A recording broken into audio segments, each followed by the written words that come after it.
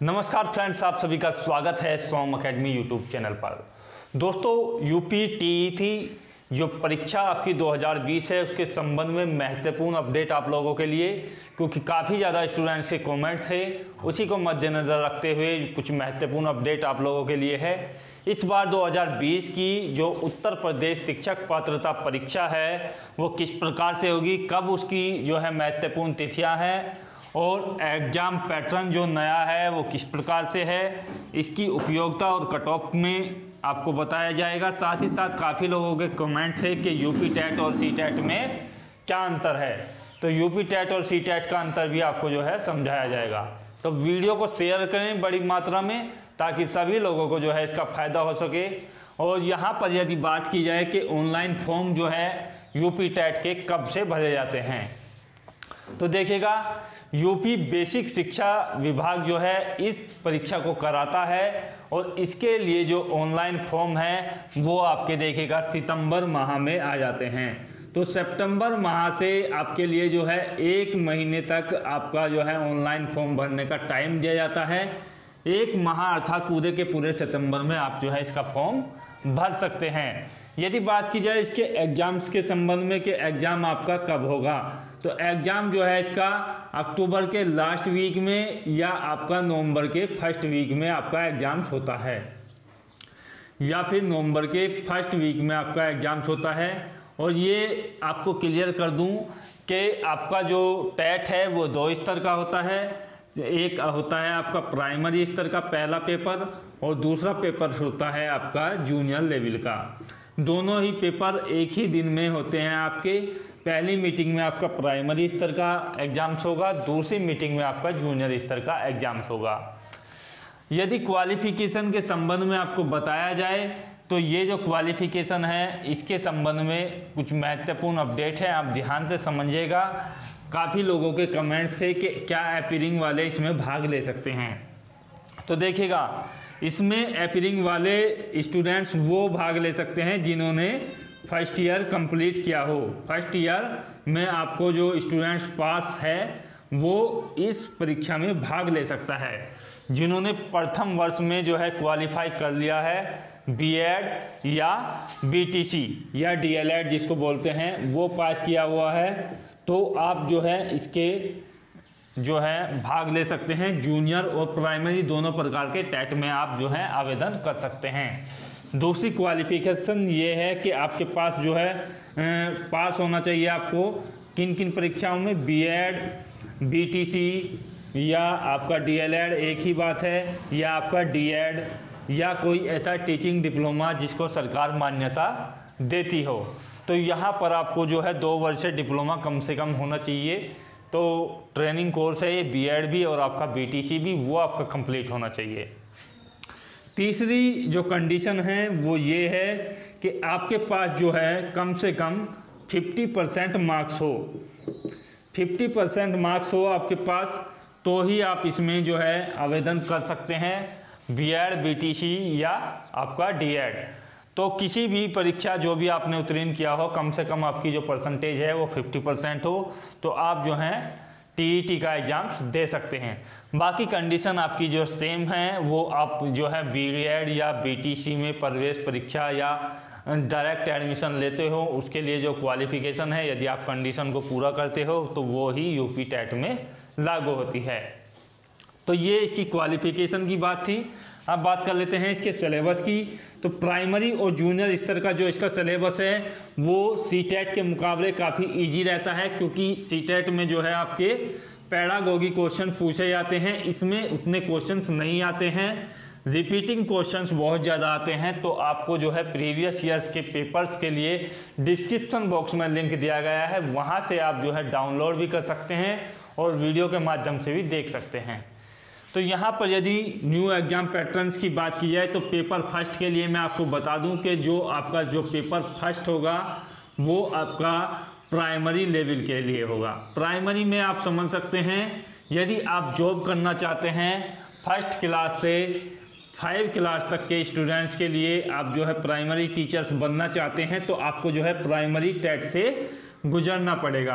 Primary स्तर का यदि आपको टी देना है और क्लास वन से फाइव क्लास तक के लिए आपको जो है टीचर्स बनना है उत्तर प्रदेश के अंदर तो आपको जो है पेपर फ़र्स्ट आपका क्वालिफाई करना होगा और ये जो पेपर है, ये प्राइमरी स्तर का होगा आपका।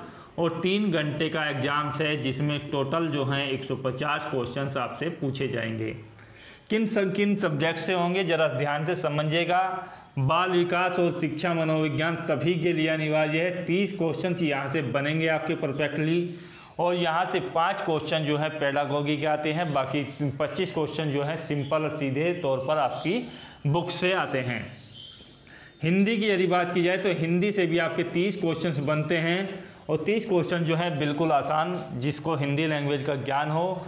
टेंथ स्तर का आपका सिलेबस रहता है, जो टेंथ लेवल में आप तक जो पूछा जाता है हिंदी, इंग्लिश या आपका जो मैथ होता है, वो भी आपका प्राइमरी लेवल का होता है। यहाँ पर यदि प्राथमिक स्तर की बात की जाए तो केवल अंक गणित के क्वेश्चन यहाँ से पूछे जाते हैं और तीस क्वेश्चन आपके आते हैं।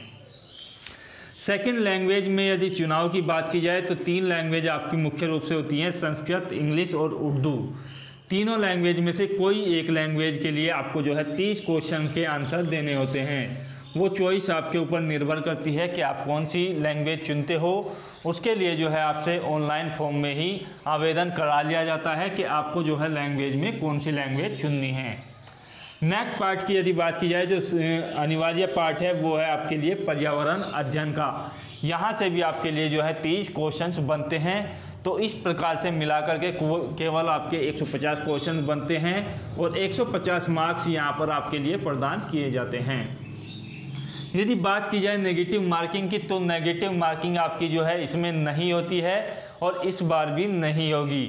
अब बात कर लेते हैं आपका जो पेपर सेकंड होता है जूनियर स्तर का जो आपका एग्ज़ाम्स होता है, उसमें कौन कौन से क्वेश्चंस आपसे पूछे जाते हैं। तो यहाँ पर यदि बात की जाए कि जूनियर स्तर का यदि आपको टीचर्स बनना है तो आपको कक्षा छः से कक्षा आठ के लिए आपको पढ़ाना होगा। और इसके लिए जो आपका सिलेबस है, वो दो वर्गों में बांट दिया जाता है। यदि पेपर सेकंड की आपकी जूनियर स्तर की बात की जाए तो यहाँ पर भी आपका जो एग्ज़ाम्स है, वो तीन घंटे का होगा और आपका जो 150 मार्क्स का क्वेश्चन पेपर होगा। सिलेबस में थोड़ा सा चेंज है तो मैं आप लोगों के लिए बता रहा हूँ कि सिलेबस आपका दो प्रकार से, दो पार्ट में बटा हुआ होगा। एक पार्ट होगा साइंस वर्ग के स्टूडेंट्स के लिए जिन लोगों के पास एग्रीकल्चर या बी वगैरह या बी वगैरह किया हुआ है या आपने जो है किया हुआ है कोई टेक्निकल कोर्स तो आप जो है संबंध रखते हो साइंस वर्ग से। उन लोगों के लिए दो सब्जेक्ट आपसे पूछे जाते हैं मैथ और साइंस साइंस में आपके फिजिक्स केमिस्ट्री बायो तीनों के क्वेश्चंस आते हैं। मैथ में आपका प्राइमरी और एडवांस दोनों तरीके का मैथ आता है। और तीस क्वेश्चन मैथ के होते हैं, तीस क्वेश्चन साइंस के होते हैं। तो कुल मिलाकर साठ परसेंट आपसे पूछे जाते हैं। ये जो चारों सब्जेक्ट हैं, ये आपके साइंस वर्ग के स्टूडेंट्स के लिए हैं। बालिका विकास अनिवार्य रहेगा, हिंदी के तीस क्वेश्चन ज़रूर आएँगे। संस्कृत, इंग्लिश और उर्दू में से कोई एक लैंग्वेज आपको चुननी है तीस क्वेश्चन के लिए। साथ ही साथ मैथ और साइंस के भी तीस तीस क्वेश्चन आएँगे। जो स्टूडेंट्स आपके कला वर्ग के स्टूडेंट्स हैं आर्ट वर्ग के स्टूडेंट्स हैं इसमें प्लस कॉमर्स के जो स्टूडेंट्स हैं, दोनों के लिए एक ही सिलेबस रहता है। इसमें आपका जो पार्ट होता है, वो होता है आपका सामाजिक अध्ययन का। इसमें सामाजिक अध्ययन की यदि बात की जाए तो जिस प्रकार से सामान्य ज्ञान के क्वेश्चंस आते हैं, केवल साइंस के क्वेश्चन छोड़ करके साठ क्वेश्चंस इसमें आएँगे। इसमें आपके जो हैं इतिहास, भूगोल, अर्थशास्त्र वगैरह से सभी प्रकार के क्वेश्चंस आते हैं, साठ क्वेश्चंस और बाकी तीन सब्जेक्ट जो हैं बाल विकास, हिंदी और कोई एक लैंग्वेज ये 90 क्वेश्चंस आपको जो है चुनने होते हैं। बाकी जो 60 क्वेश्चंस है, वो आपके लिए ये पार्ट आएगा आर्ट वर्क के स्टूडेंट्स के लिए। यदि बात की जाए उपयोगिता के बारे में तो ये मैं आपको क्लियर कर दूँ कि यूपी टेट की उपयोगिता जो है उत्तर प्रदेश में बहुत महत्वपूर्ण है। यदि उत्तर प्रदेश में आपको टीचर्स बनना है तो उत्तर प्रदेश टेट के लिए आपको क्वालिफाई कर लेना चाहिए, क्योंकि सही मायने में ये जो है सी टेट से ईजी होता है और बहुत आसान होता है ये क्वालिफाई करना। तो इसकी उपयोगिता यही है कि ये जो है आपका पाँच वर्ष तक वैलिड रहता है और इसके लिए जो है आपको एक बार क्वालिफाई करने के बाद जो है पाँच वर्ष के अंदर यदि उत्तर प्रदेश में कोई भी वैकेंसी निकलती है यदि आपने जूनियर स्तर का किया हुआ है तो जूनियर में अप्लाई कर सकते हैं प्राइमरी का। कट ऑफ़ की यदि बात की जाए तो वही है जनरल कैंडिडेट्स के लिए आपका 90 क्वेश्चन सही होना चाहिए। ओबीसी एससी और एसटी कैंडिडेट्स के लिए आपका जो क्वेश्चन है, वो 82 क्वेश्चंस सही होने चाहिए।